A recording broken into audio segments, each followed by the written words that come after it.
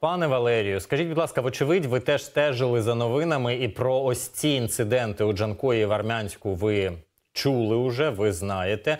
А які найперші висновки? От що найперше ви подумали, зрозуміли, ви прийняли, коли а, ви почули про це? Перше, що я е, відчув, це радість від того, що е, від заяви е, нашого головного управління розвідки про те, що влучили в е, боєприпаси, які перевозилися, а саме ракети калібр. Це дуже добре. Означає, що е, менше ракет впаде найближчим часом е, е, на територію України. Ну, власне, дійсно, на щастя, от е, цей боєзапас, е, оці калібр НК, схоже, ну якась бодай кількість їх знищена цією атакою.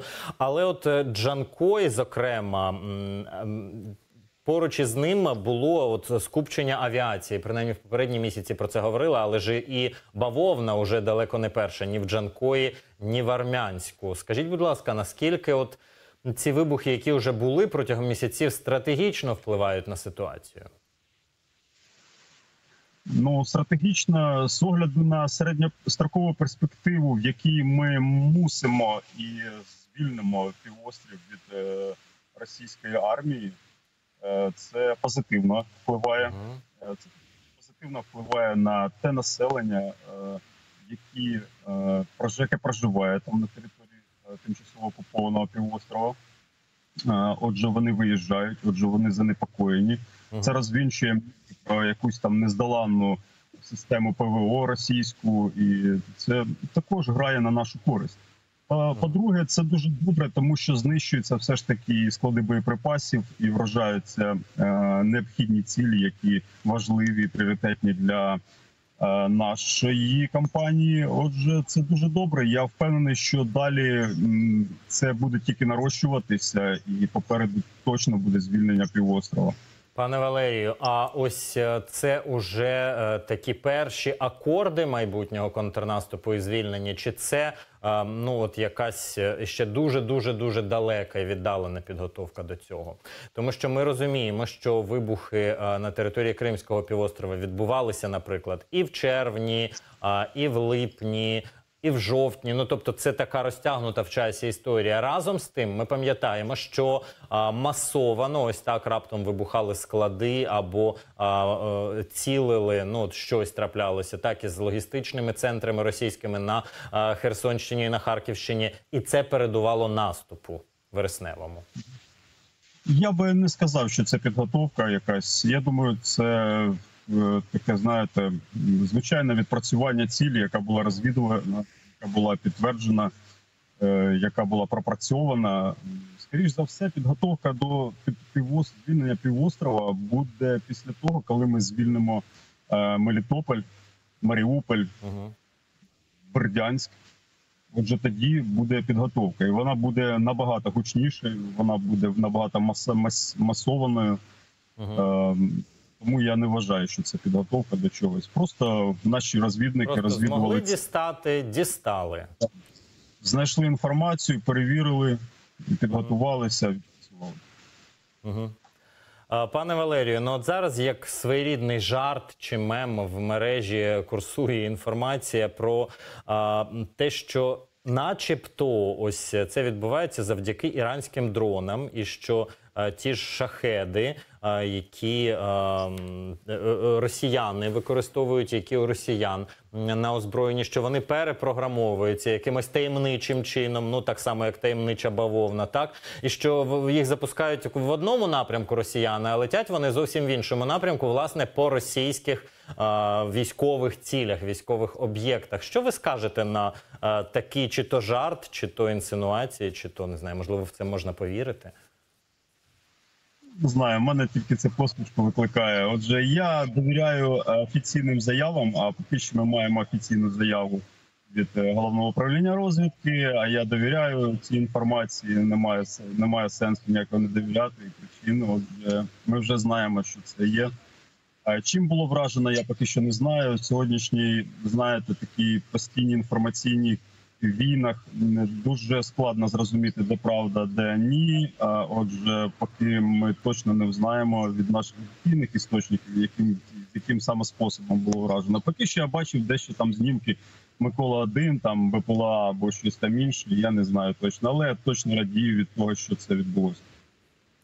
Ну тут е, важко не погодитися із вами. І ось оперативна інформація. Окупаційна влада Джанкоя ввела в місті режим надзвичайної ситуації муніципального рівня після вибухів. Так повідомляють пропагандистські змі. Також є повідомлення, що значні пошкодження отримало локомотивне депо, будівля охорони вокзалу, товарно-матеріальний та паливний склади на залізничній станції у Джанкої. Внаслідок ось атаки дронів вчорашньої, про яку ми вже говорили, і на станції виникли перебої в електромережі локомотивного депо.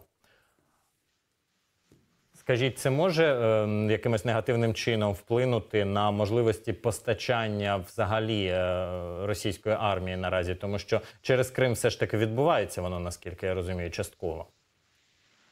Так, звісно, це Джанкої це один із чотирьох таких важливих вузлів, які я знаю, які є в Криму, які знищення яких в принципі е, не те, що ускладнює, унеможливлює в принципі логістику по залізній дорозі. Отже, там залишаються тільки автомобільні дороги або повітряний простір. Отже, Крим насправді дуже вразливий з точки зору логістики, тому що він а шляхів не так багато. Тому це дуже добре. Я сподіваюся, що це е, в нагоді буде е, як досвід е, до майбутнього звільнення Криму. А, ну і власне на Крим ширше давайте подивимося, тому що це один прецедент, найсвіжіший, але не єдиний за останні місяці уже в Криму. І ось що власне там відбувається зараз. Будують нові укріплення, вивозять сім'ї та розпродають майно. Видно, окупанти е, Криму і самі вже не вірять у те, що Росія тут назавжди. Про це розповів представник головного управління розвідки Міноборони Андрій Юсов. За його словами, ворог усвідомлює, що звільнення півострова неминуче і намагається себе підбадьорити. Але це картинка для широкого загалу. Насправді ж росіяни постійно риють траншеї та лагодять бетонні конструкції. При цьому окупаційна влада та адміністрації командування військових масово вивозить родини з півострова і продає нерухомість. Крім цього, Юсов нагадав, що Крим давно використовується не як курортний півострів, а як військова база з елементами концтабору. На український півострів постійно надходить військова техніка та облаштовуються нові укріплення. Угу. Пане Валерію, ну ось ситуація е, така е, дещо похмура, так би мовити, от вимальовується. Е, із інформації, яка у вас наявна, дійсно паніка відчутна у Криму? Ну, чи побоювання, від... щонайменше? Паніка, дивіться, е, наших е, прихильників да, і ворогів режиму Путіна дуже багато на території Росії, і в тому числі в Криму. І е, спілкуючись е, з друзями, у яких є друзі, які проживають на території Росії, там е, дуже відчувають е, загрозу того, що життя в Росії стане набагато складніше вони вже розуміють навіть ті, які там вагалися або просто там симпатизували владі, сьогодні вже не впевнені в тому, що Російська Федерація е, буде в тому стані, в якому вона була до вторгнення.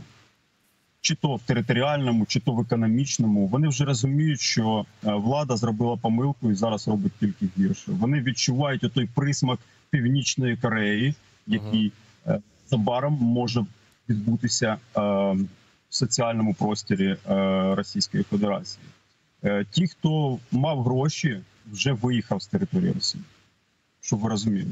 Ті, хто не зміг ще досі свої активи якісь якимось чином продати, залишаються, і перспектива у них однак кудись подіти ці активи, продати якомога вигідніше і звалити з території Російської Федерації.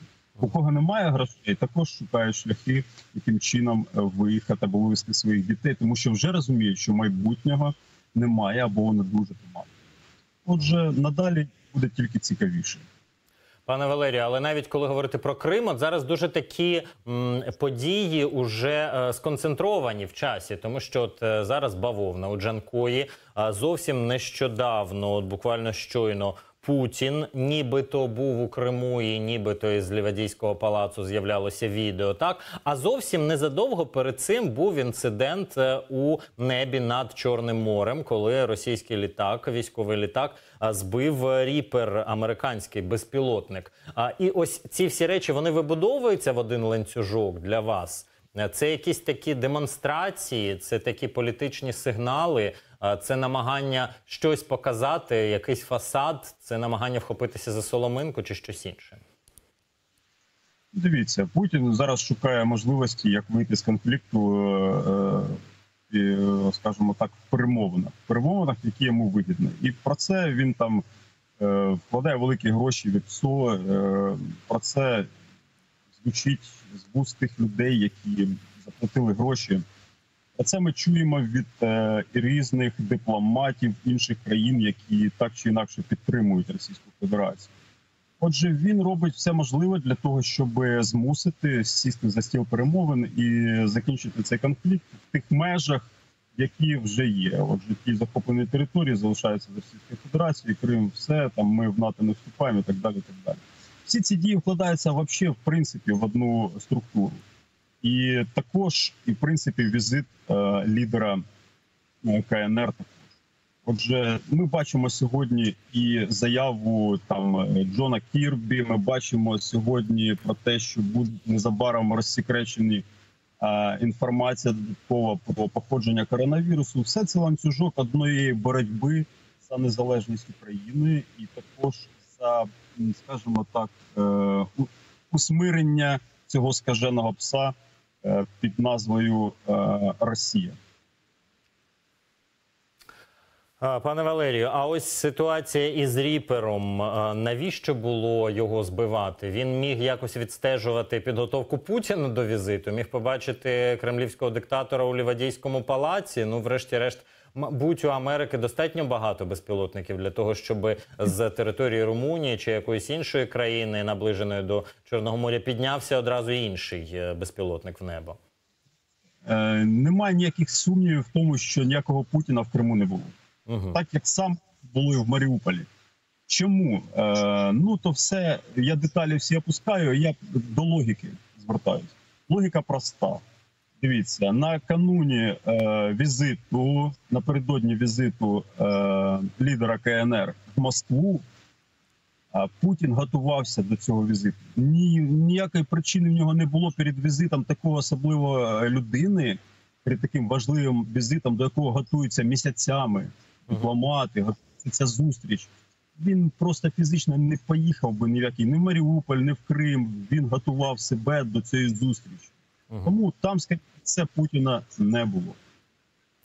Ну але от важливо, що так, якщо Кремль намагався щось продемонструвати, то і е, Україна, вочевидь, щось продемонструвала. Ну, принаймні, от загадкова бавовна розцвіла. Нібито в Криму з'явився Путін, і в Криму е, от е, пролунали вибухи. А в Маріуполі в зворотньому порядку, але теж не дуже давно були серйозні вибухи, серйозна бавовна, яка і особовий склад знищувала е, військ ворога і боєзапас знищувала. От нібито умовний Путін з'явився, хтось схожий на нього. Але ось е, ці сигнали вони а, ними обмінюються країни зараз протиборчі. Ну для того, щоб показати, хто все ж таки контролює ситуацію. А, ну і до контролю ситуації наближає нас е, новий е, пакет допомоги від Сполучених Штатів Америки. Снаряди до Хаймарс та БМП Бредлі, ракети Харма. Також Протитанкове озброєння та річкові катери США виділили черговий пакет військової допомоги Україні на 350 мільйонів доларів.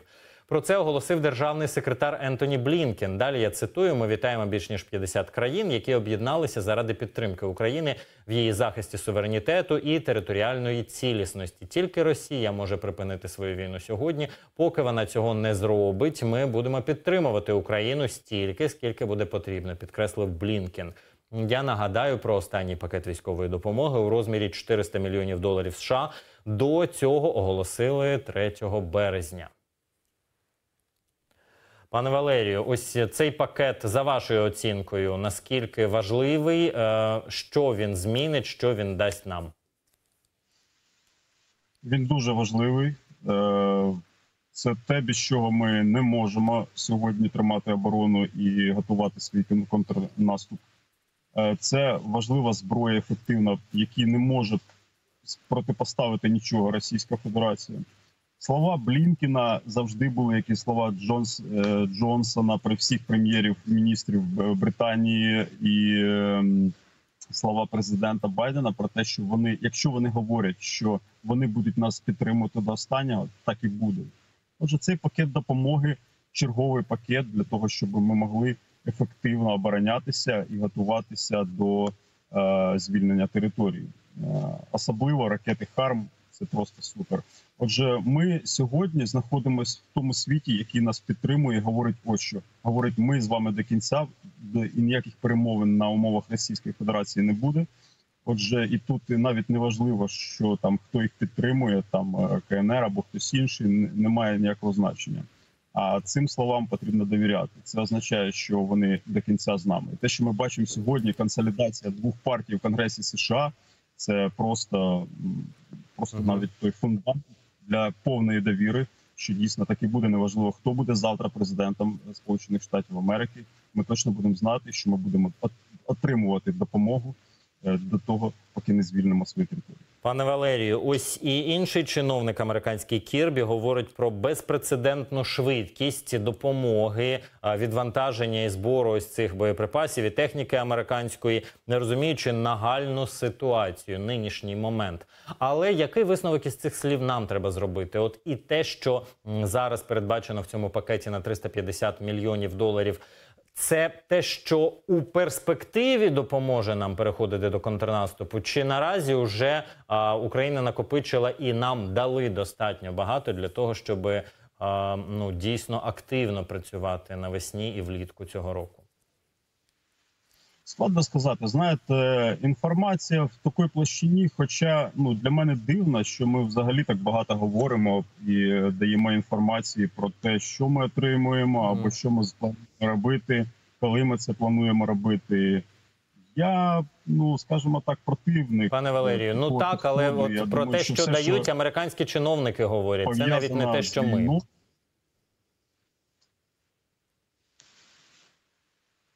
Все, що пов'язане з війною, воно має бути обмежена інформація якось таким чином. Отже, я впевнений, що ем, та допомога, яка сьогодні надходить, яка вже надійшла, вона е, точно достатня для того, щоб ми могли оборонятися. Для того, щоб накопичити зброю, щоб провести контрнаступ, як навіть якщо і буде така додаткова допомога, або вона вже є, я е, впевнений і сподіваюся, що в засобах масової інформації не з'явиться це. І, е, а точно з'явиться на лінії фронту, і ми вже будемо очевидцями того, що відбувається, і будемо говорити: о, де ми пропустили цю інформацію, що нам стільки зброї пішло. Вже на це сподіваюся. Ну дуже хочеться так, аби е, так дійсно і було. Хай краще це будуть сюрпризи. Сюрпризи уже використання певних типів озброєння, сюрпризи е, уже підготовленості певних кадрів. Сюрпризи. Ну я не знаю, чи ми можемо на такі сюрпризи в принципі сподіватися, але хай і авіація, хай і ракети, врешті-решт опиняться в руках збройних сил України. Пане Валерію, я дуже дякую вам за сьогоднішню розмову. Валерій Поцелуйко, радник міністра внутрішніх справ України у 2014-2021 роках. Був е, співрозмовником. Ми гостем нашого ефіру. Це Апостроф ТІВІ. Ми рухаємося до наступних тем.